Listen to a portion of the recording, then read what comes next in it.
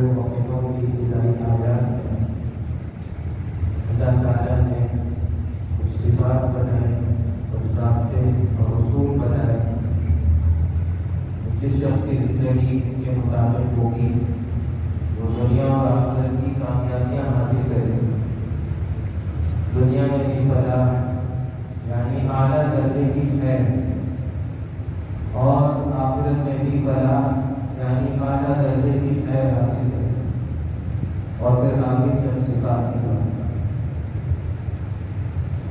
اٹھارہویں پارے کی ابتدا ہے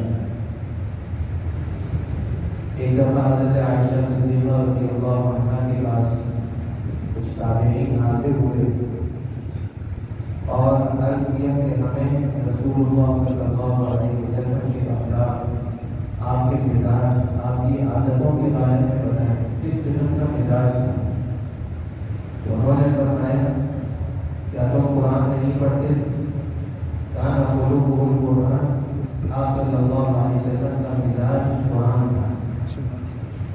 اور بعض روایات میں آتا ہے اس کے بعد یہ ابتدائی دس آئے تقریباً یہ تلاوت کرنا ہے یہ جو صفات ہیں، یہ آپ صلی اللہ علیہ وسلم کی صفات ہیں اللہ تعالیٰ فرماتے ہیں فلاح کو پہنچ گئے ایمان والے فلاح کا اردو میں ہم صحیح ترجمہ کر نہیں سکتے سرناز کیا اعلیٰ درجے کی کامیابی دنیا اور آخرت کی اعلیٰ درجے کی خیر ہر قسم کی خوراکیں ہر قسم کی چاہتیں کسی کی پوری ہو جائیں اعلیٰ سزا پر بھی فلاح کو پہنچے۔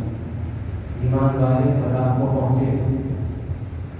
وہ ایمان والے جو اپنی نمازوں میں خوشو کرنے والے اور دوسری بات ارشاد فرمائی، جو لوگ لب بےحودہ بیکار کاموں سے بیکار باتوں سے اعراض کرنے والے آج کسی پہ کچھ بات کرنے کا ارادہ ہے دوسری صفت فلاح کو پہنچنے والے لوگوں کی اہم صفت یہ ہے کہ وہ لوگ بیکار مشغلوں میں اپنے زندگی کے لمحات کو اوقات کو ضائع نہیں کرتے۔ امام راضی رحمۃ اللہ علیہ نے انہیں آیات میں ایک مختلف لکھا ہے کہ نماز میں خوشو کے بعد ذکر دیا تب بیکار باتوں سے بچنے کو اور پھر اس کے بعد اگلی آیت میں ارشاد فرمایا وہ لوگ جو زکات ادا کرنے والے ہیں نماز اور زکات کے درمیان میں فرمایا کہ بےحودہ کاموں سے بچنے والے ہیں حالانکہ قرآن پاک میں عام دستور اللہ تعالیٰ کا یہی ہے کہ نماز کے ساتھ جہاں زکات کا تذکرہ ہوتا ہے دونوں ملے ہوئے آتے ہیں اسی وجہ سے ان دونوں عبادتوں کو قریبتیں کہا ہے یہ دونوں جڑواں عبادتیں نماز اور زکات ساتھ ساتھ تذکرہ ہوتا ہے یہاں درمیان میں دم اور بےحودہ کاموں سے بچنے کا تذکرہ کر دیا امام راضی رحمۃ اللہ علیہ فرماتے ہیں بڑی عمدہ تفصیل ہوئی کہ اس میں اس طرح اشارہ ہے کہ اس شخص کی نماز خوشبو والی ہو نہیں سکتی نماز اس کی آنکھوں کی ٹھنڈک کر نہیں سکتی جو شخص بےحودہ کاموں میں مبتلا دم بیکار کاموں میں مبتلا چار کاموں سے برا کوئی گناہ کے کام نہیں ہے جن کو ہم گناہ سمجھتے ہیں کبیرہ گناہ ہے یا صغیرہ گناہ ہے یہاں وہ باتیں مراد ہیں جن میں کرنے سے نہ دنیا کا کوئی فائدہ ہے اور نہ ہی آخرت کا کوئی فائدہ ہے بس یوں ہی وقت گزاری کے لیے ہم یہ کام کر رہے ہیں چلو ٹائم پاس کر لیتے ہیں تھوڑی دیر افسوس کی بات یہ ہے کہ ہمارے جو فراغت کے اوقات ہیں وہ اکثر کسی قسم کے بےحودہ کاموں میں لگے ہوئے ایک تو وقت آدمی کی ملازمت کا کاروبار کرتے ہیں وہ آدمی وہاں لگاتا ہے پھر بعض لوگ بعض جو لوگ نمازوں کے پابند ہیں نمازیں پڑھتے ہیں پھر تلاوت کرتے ہیں اب جب معلوم ہے اپنے جو دنیا کی واجبات میں وہ بھی ادا ہو گئے دینی واجبات میں وہ بھی ادا ہو گئے اب کیا کرنا ہے یہ جو آدمی کا فراغت کا وقت ہوتا ہے جس طرح آدمی ان اوقات کو گزارتا ہے اس بات کی نشانی ہے دلیل ہے کہ آدمی کا نفس ایسا ہے شخص اپنے نفس کو جانچنا چاہتا ہے پرکھنا چاہتا ہے۔ میرے نفس میں کتنی زیادہ پاکیزگی ہے۔ میرا نفس کتنا زیادہ عمدہ ہو گیا۔ اس کو چاہیے فراغت کے اوقات میں اپنے مشغلوں کو دے کس قسم کی چیزوں کی طرف کر کے طالب ہو گئے آپ کو یہ آدمی آج کل کا جو ہے یوں کہنا چاہیے عمومی وبا ہے، بیماری ہے، عمومی ہم فوراً موبائل کی طرف متوجہ ہوتے ہیں۔ اور یہ نہیں کہ دو تین چار پانچ منٹ میں اس میں آدمی اگر یوں کریں تھوڑا سا فریش ہونے کے لیے ہم کر رہے ہیں، بلکہ گھنٹوں اس میں لگ جاتے ہیں اور محسوس بھی نہیں ہوتا۔ نوجوان اس میں زیادہ منہمک باقی وبا میں تو ہر آدمی کسی نہ کسی درجے میں منہمک ہے۔ اللہ کا بڑی بربی سوائے اس کے اس اپنی زمانے میں جس پر اس کے رب کا خصوصی لہر، وہ اس وبا سے بچا ہو عمومی طور پہ ہم وقت کو ضائع کرنے میں لگے ہوئے ہیں اور جب ہم وقت کو ضائع کرنے میں لگے ہوئے ہیں یہ سمجھتے ہیں ہمارا کوئی نقصان نہیں ہوا کام جو وہ تو سارے کر لیے جو لوگ کرتے تھے ایسی بات نہیں ہے۔ بلکہ جب آدمی وقت کو کہیں ضائع کرتا ہے۔ وقت کے ضائع ہونے کا اثر اس کے واجبات پہ پڑتا ہے۔ جو شخص کل گزشتہ دن دو گھنٹے وقت کو ضائع کر کے آیا ہو، اب آج نہ اس کی ملازمت ویسے ہو سکتی ہے جیسے کہ مطلوب اور نہ ہی نمازیں ویسی ہو سکتی ہے جیسے کہ مطلوب ایسا ہو ہی نہیں سکتا ایک آدمی وقت کو ضائع کر کے آئے اور اس کے دنیاوی کام بھی معمول کے مطابق صحیح طریقے سے چلتے رہے اور دینی کام بھی صحیح طریقے سے چلتے میرے کو ذمہ داریاں بھی پوری کرتا ہے چنانچہ موقعوں کی شکایت ہے کہ نمازوں میں دل نہیں لگتا ہر آدمی کے موقعوں کی شکایت نماز میں خوشبو نہیں اس کا ایک بہت بڑا سبب یوں کہا جا سکتا ہے نوے پچانوے فیصد جس سبب کو دخل ہے، نمازوں میں دل نہ لگتے ہیں، وہ وقت کا ضائع کرتے ہیں۔ ہمارے مقام میں ہم کو ضائع کرتے ہیں، نمازوں کے لیے اسی طرح جو مالکان ہیں، کمپنیوں کے مختلف اداروں کے ذمہ دار ہیں، مینیجر اور کو شکایت یہ رہتی ہے کہ ہمارے جو ملازم ہیں، وہ کام ٹھیک طریقے سے نہیں کیا ہے سب کے ہاتھوں میں موبائل وقت ضائع ہو گیا۔ ہم اپنے گھر والوں کا ذرا سے جائزہ دیں ہمارے بیوی بچوں کو ہم سے یہ شکایت ہے اور اس کا ہمیں بھی احساس اور احترام ہوتا ہے کہ ہمارے ابا ہمیں وقت نہیں بیوی کو شکایت میں شوہر وقت نہیں ہوتی اور ہمیں بھی احترام ہے مجھے اپنے بیوی بچوں کو دینے کے لیے وقت نہیں ایسا ہو نہیں سکتا کہ اللہ تعالیٰ نے ہمارے اوپر ذمہ داریاں ڈالی ہوں اور اتنی ذمہ داریاں ڈالتی ہوں جتنی کہ آدمی چوبیس گھنٹے میں پورا نہ کر سکے رسول اکرم صلی اللہ علیہ وسلم کا جو مزاج تھا وہ اپنے اوقات کو تقسیم کرنے کا تھا۔ چنانچہ تفصیلی روایات میں جب آدمی بہت تفصیل سے دیکھتا ہے، بہت ساری چیزیں ہوتی ہیں۔ بنیادی طور پہ ایک روایت میں اس کا خلاصہ مضبوط شمائل سے کہ آپ صلی اللہ علیہ وسلم نے اپنے اوقات کو تین حصوں میں تقسیم کیا ہوا گھر میں ہوں گے۔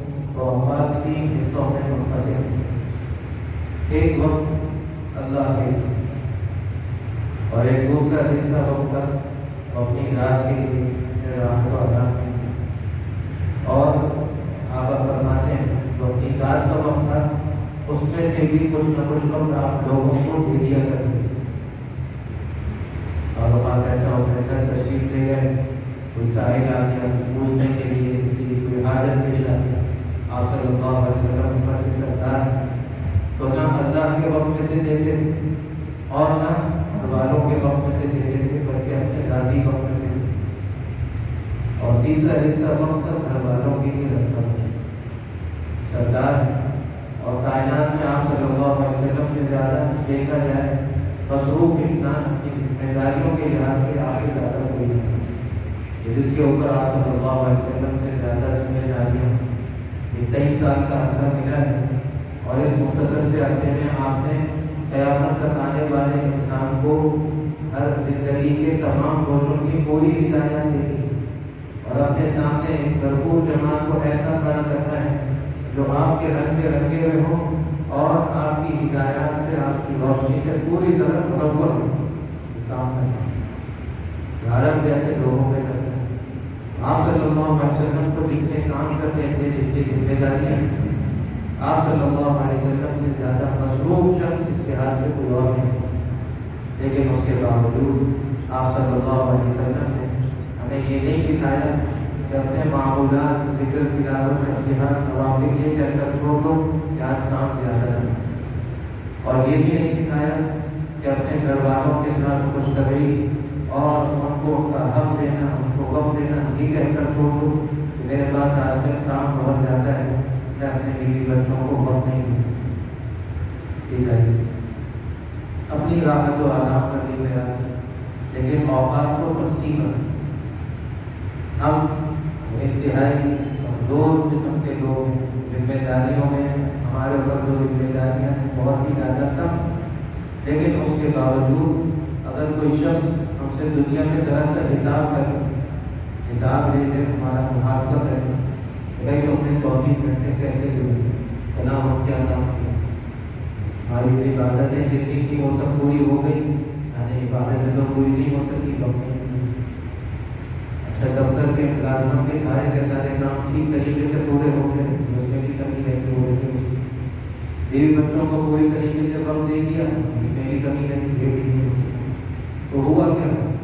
وقت ضائع ہوا ہے۔ اور جب آدمی وقت ضائع کرتا ہے اس کی نبوسر یہ ہوتی ہے کہ باقی اوقات میں سے اپنا کانا برکت اٹھا لیتے ہیں۔ ورنہ یہ بھی مختصر سی زندگی ہوتی ہے۔ یہی چوبیس گھنٹے ہوتے ہیں دن کے۔ اور انہیں زندگیوں میں کرنے والے بڑے بڑے کام کر رہے ہیں ہمارا ایک عمومی مسئلہ ہے کہ ہم وقت کو بہت آسانی سے ضائع کرتے ہیں۔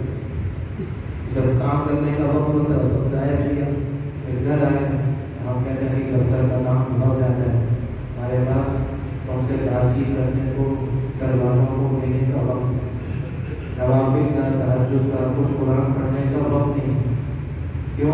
کیونکہ وقت ہم اس انداز میں خرچ کرنا ہوگا اس انداز میں خرچ اور اس کا جو سب سے بہترین اور مناسب حل یہ ہے کہ ہم میں سے ہر شخص کا نظام الاوقات بنا ہوا ہو ٹائم ٹیبل بنا ہو کس وقت کیا کام کرنا ہے؟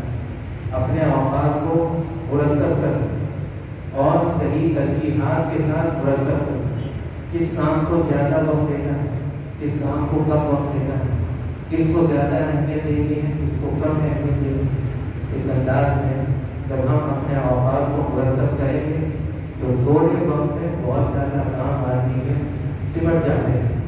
تھوڑے وقت میں آدمی بہت زیادہ کام اٹھا دیتا ہے۔ مثال دی جاتی ہے۔